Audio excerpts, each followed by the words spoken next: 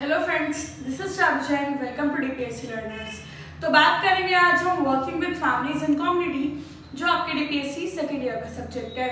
उसके unit one का मैंने टॉपिक उठाया है फोकस ग्रुप डिस्कशन ये बहुत छोटा टॉपिक है, और इससे पहले जो इसमें सारे मेथड्स हैं ऑब्जर्वेशन इंटरव्यू इस टाइप के टॉपिक्स मैंने कवर करा दिए हैं।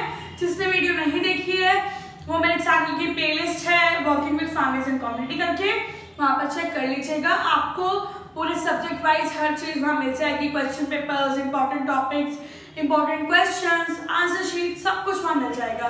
तो ज़रूर चेक कर लीजिएगा। तो स्टार्ट करते हैं हम।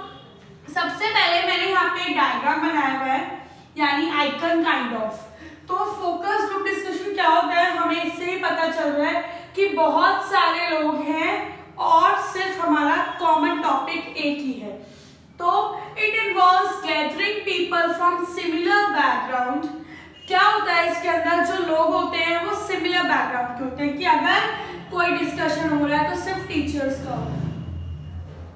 या कोई डिस्कशन हो रहा है तो सिर्फ़ डॉक्टर्स का हो रहा है। तो ये होता है फोकस ग्रुप डिस्कशन और क्या करते हैं, इसमें स्पेसिफिक टॉपिक ऑफ़ इंटरेस्ट ही लेते हैं। सपोज़ यहाँ पे सारी टीचर्स बैठी हैं।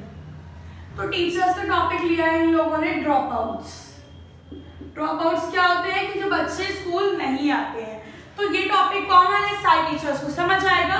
तो इसको बोला जाता है focus group discussion it is a qualitative research ये क्वालिटेटिव रिसर्च क्यों है? क्योंकि जब ये सारे लोग बैठेंगे एक साथ और कोई बच्चों की वेलफेयर के लिए काम कर रहे हैं तो कुछ ना कुछ तो आउटपुट निकलेगा ही, जो कि अपने आप में ही क्वालिटेटिव होगा। उसके बाद Questions are asked about their perceptions, attitudes, beliefs, opinions और ideas. इसमें क्या होता है कि इन लोगों से पूछा जाता है उनके बिलीव्स उनके आइडियाज़ उनके ओपिनियन उनके एटीट्यूड्स को लेकर कि उनका इस टॉपिक को लेकर क्या मानना है सारे लोग अपना अपना पॉइंट ऑफ़ व्यू रखते हैं फिर एक म्यूचुअल जो होता है डिसीज़न लिया जाता है। तो ये है हमारा फोकस ग्रुप डिस्कशन इसमें ज़्यादा कुछ लिखने वाला नहीं है। स्टिल मैंने पॉइंट्स बनाए हैं। आप इन्हीं को ही इलेबोरेट कीजिएगा। साथ साथ ही डायग्राम ज़रूर बनाते रहिएगा। इसमें कहीं प्रॉब्लम आती है, मुझे कमेंट बॉक्स में ज़रूर बताइए।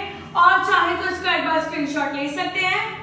साथ साथ ये वीडियो अच्छी लगी हो तो लाइक शेयर और सब्सक्राइब करना ना भूलें